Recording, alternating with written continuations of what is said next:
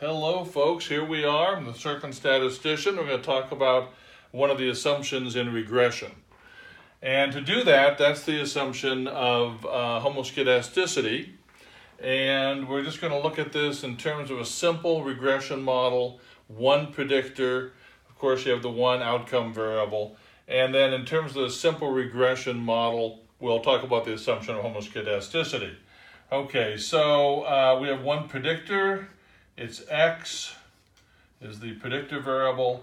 And uh, let's just say, wh whatever this variable may be, that it has a range of uh, 1 to 60 in terms of persons' uh, values on this, uh, on this predictor variable. And then we have some outcome variable, and its score range is 1 to 50, let's say.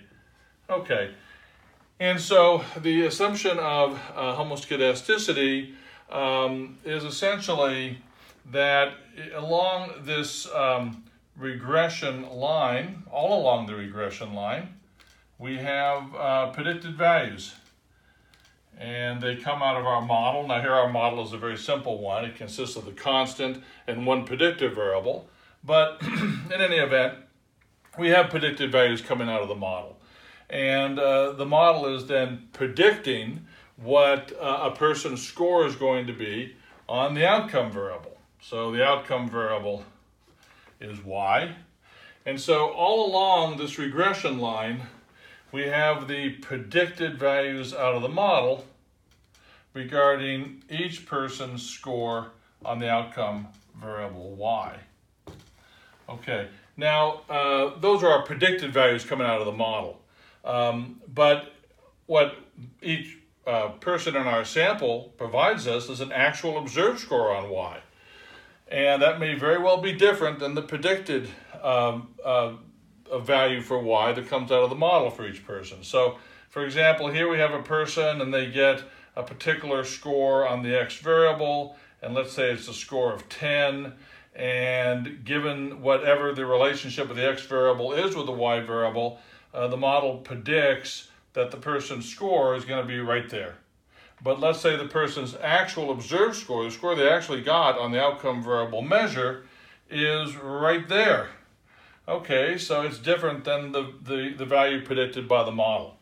And so that difference we have there is the error in prediction, uh, otherwise known as the residual.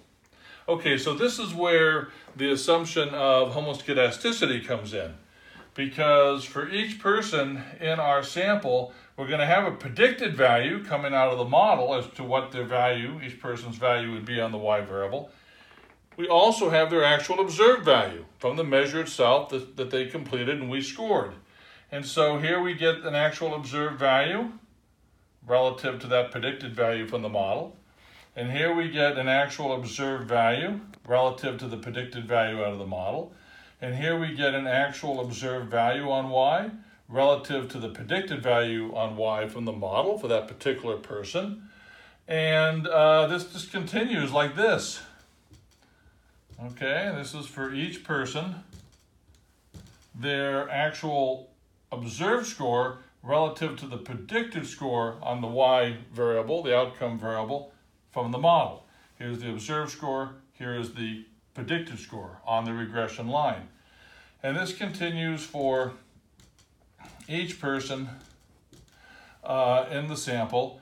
And you'll notice that here, and we just kind of keep this going. And remember, I haven't put all the predicted values down here yet. And I could keep going here because this whole line consists of predicted values depending on how many people are in your sample, the whole line could be just a bunch of predicted values. But that's where you're always going to find the predicted values is on that regression line, and then corresponding to it is going to be the actual observed score that the person gave you on the outcome variable measure. And so you'll have a lot of predicted values out of the model, and you'll have a lot of actual observed values. And let's say that these are a bunch of observed values, but remember, none of these observed values exist by themselves because corresponding to each one is a predicted value out of the model. And these differences of the observed value from the regression line, here's a predicted value right there for this person, and here's their actual observed value. These are all the errors in prediction or the residuals, okay, how far the, The, the uh, predicted value is from the actual observed value. So anyway, we got even more people here. They got an observed value. But again, you never think of an observed value just being by itself. It always has an accompanying predicted value from the model. And so here we got you know, a good number of observed values, but don't just think of that observed value by itself, because remember, there's always that corresponding predicted value from the model, and the difference being the error in prediction or the residual. And so here we have more observed values, but of course you're not going to be thinking of these observed values just by themselves, are you? I know you're not. I can tell right now you're not. Maybe you were going to before you saw this, but now you know better than that. You don't think of any of these observed values by themselves. First of all, it makes them feel lonely. And also, it just is inappropriate to do it. It really isn't even nice of you to do it because each one of these observed values has a friend. And that friend is the predicted value for that person from the model. Okay? So every observed value has a friend and a predicted value. Never forget that. There's just no reason to have these observed values feel lonely like that. We just don't want to do that. Okay, now, in talking about this then, what, what is amazing, what has occurred here for you, is that we can see that the assumption of homoskedasticity has been met. And you say, well, how do we know that? Because look, look here, look, look. Don't be looking away, look at what I'm doing. See, I'm like, a, I'm like an artist. It's like I'm painting a painting. You never knew that this would be like a, a Van Gogh Hey, it's a Picasso. Check this out.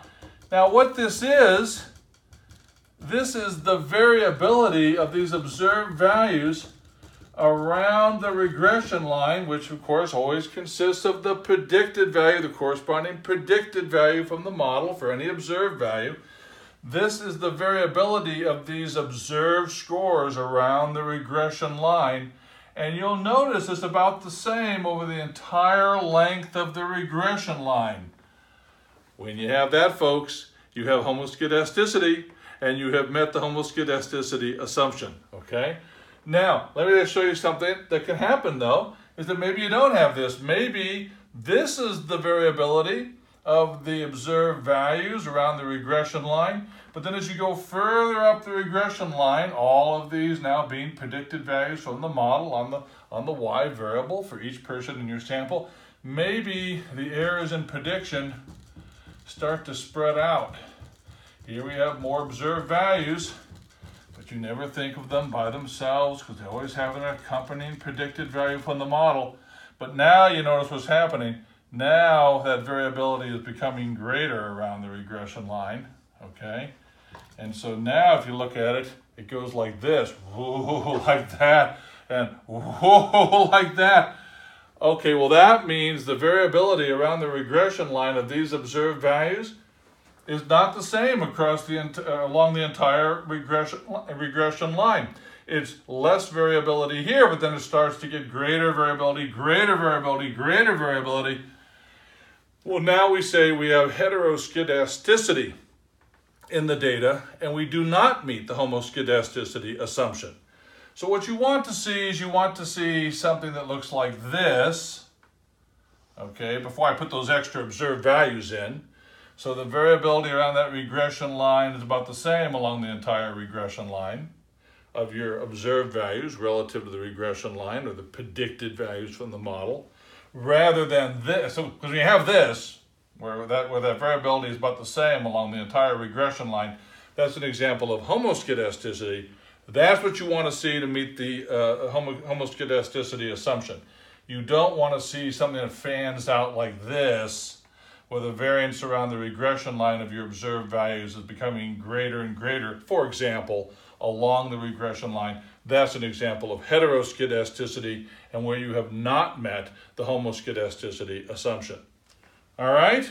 So now you know about observed values and their friends' predicted values, and you'll never have an observed value be lonely again. At the same time, because they always come in pairs, and at the same time, you uh, have learned about the assumption of homoskedasticity. And what you also have from this is a new word to throw out at parties and scare your friends. All right. Thank you.